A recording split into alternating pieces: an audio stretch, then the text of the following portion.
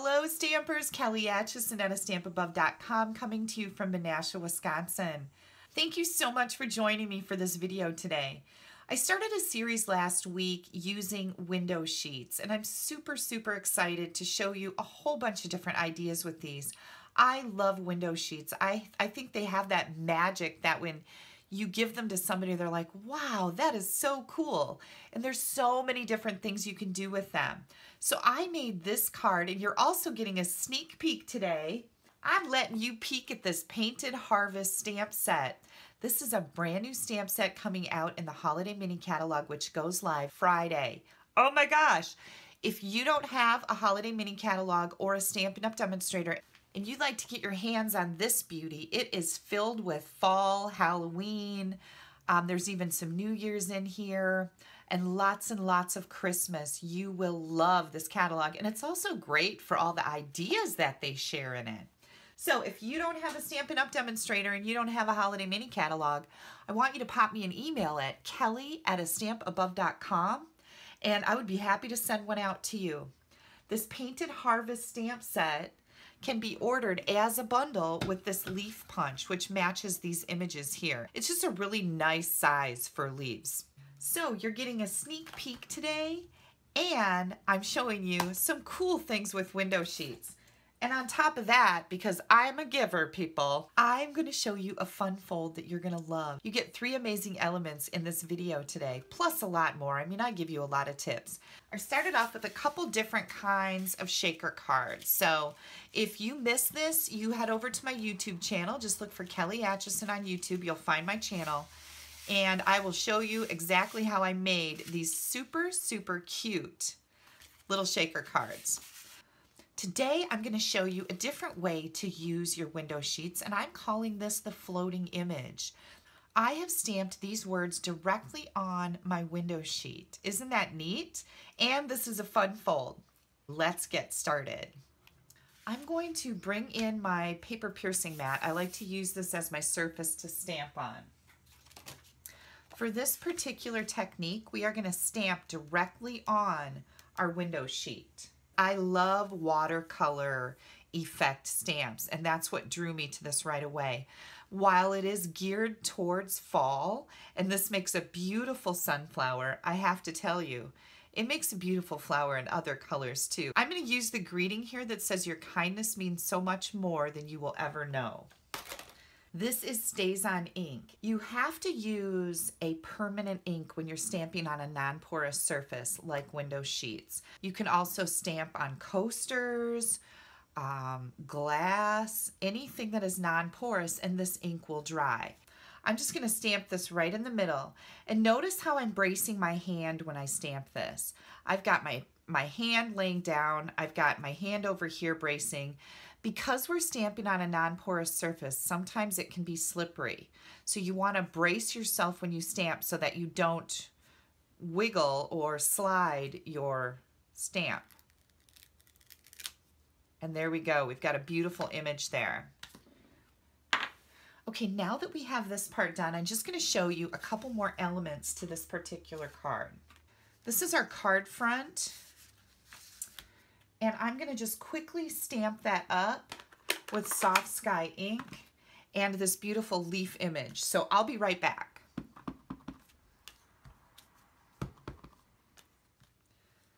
Okay, now that I've got that done, what I did with this is I took one of my um, circle dies from the Layering Circle framelits and one of the scalloped ones. I am going to take my card front and I'm also going to put another piece behind it and I'll show you why in just a second. And I'm going to hold it in place. Um, my card, by the way, is five and a half by eight and a half folded in the middle. Then I've got another layer that's four by five and a quarter.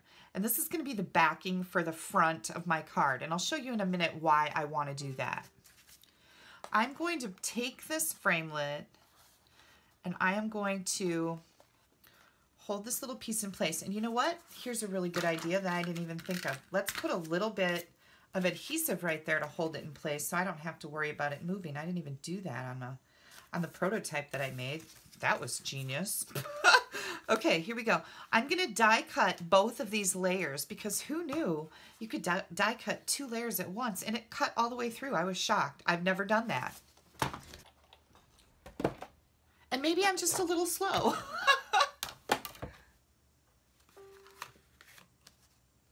I'm just going to put this towards the top of my card and center it on the front. You're going to jiggle a little bit here, so don't get dizzy.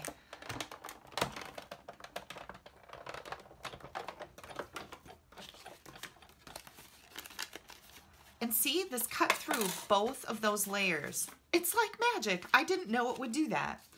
So we learned something new today. You could keep these two pieces and use them for something else if you'd like, or you can destroy them like I just did mine. okay, next, I always like a frame around my circles. It's just a thing with me. So this is how I made my frame. I am going to take a piece of crumb cake cardstock and I need a circle. This is just a scrap, so I'm not going to give you any measurements on it. Oh, and by the way, this circle die happens to be about two and three eighths inches round. So here's my circle, and again, I can keep this and use it for something. I didn't destroy that one. And next I'm going to come in with the scallop that's just a little bit bigger. And this makes a beautiful frame around your peekaboo windows, as I like to call them. Oops, I think I moved it just a second. I want to try and get this very centered because this is going to be a tiny little element.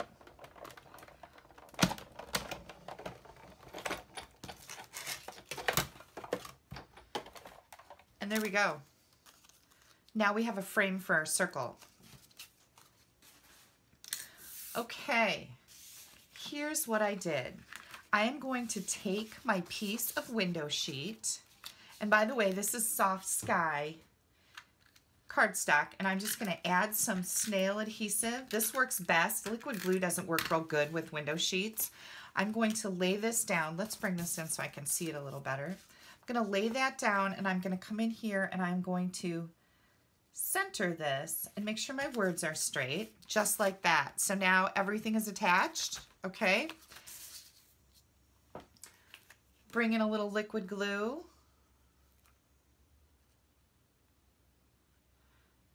And glue this piece down. This is going to fit perfectly as long as you use the same circle to cut the inside out as you did for the window in your card. Isn't that pretty? Okay, so I wanted to show you that window. And why did I cut this piece? Well, here's why. I do not like the way this looks when somebody opens my card, and I'm kind of picky about that.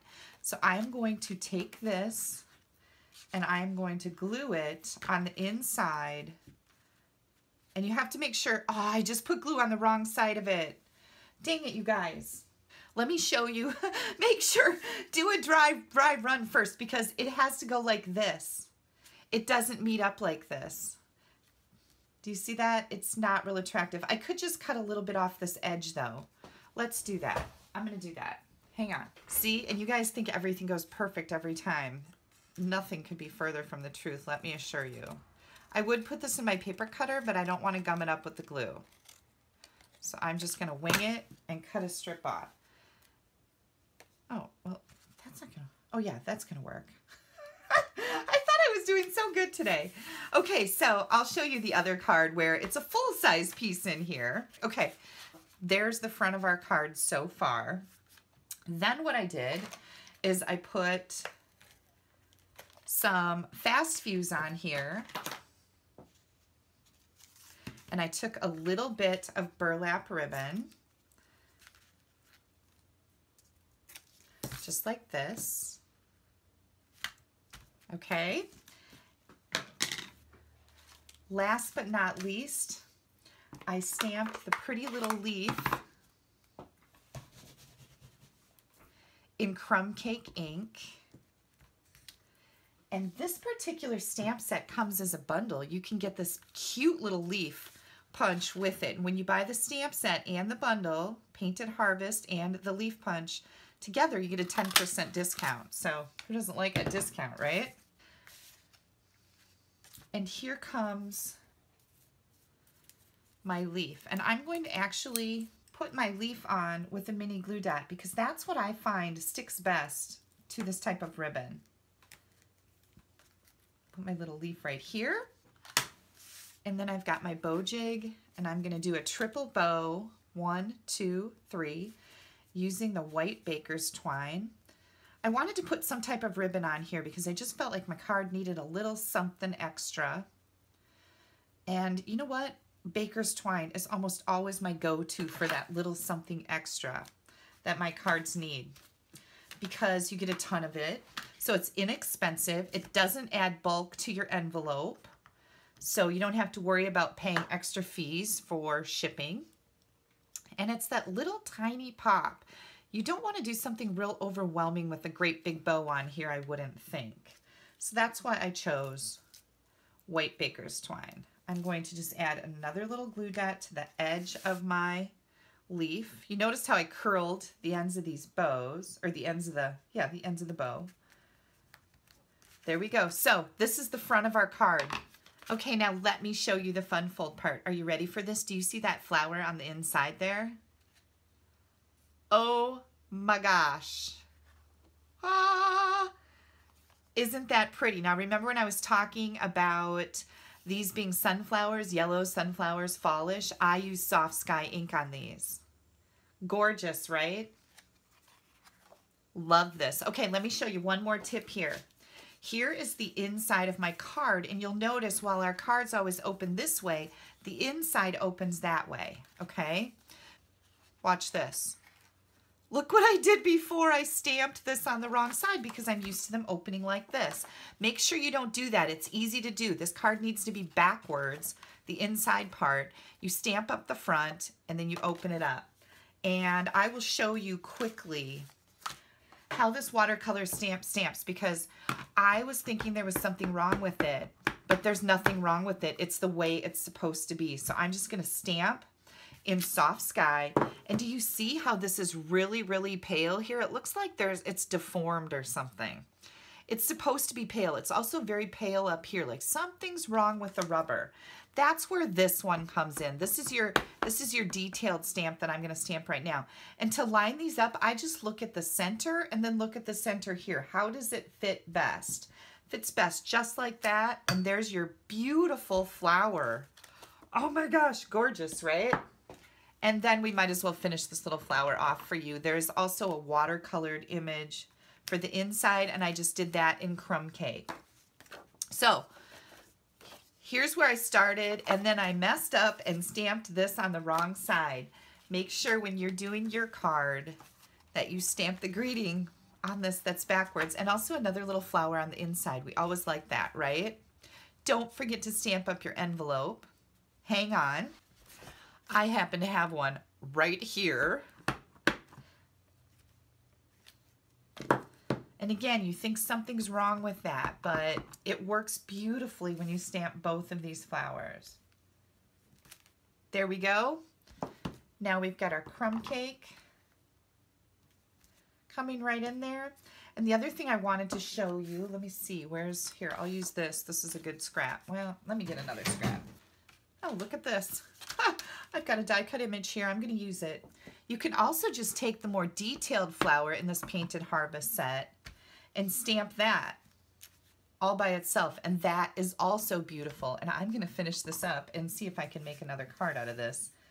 Not while you're watching here because I know you have things to do. But isn't that pretty? Just a beautiful, very soft watercolored image. We've got our envelope and our gorgeous, gorgeous card here. There you go. Beautiful.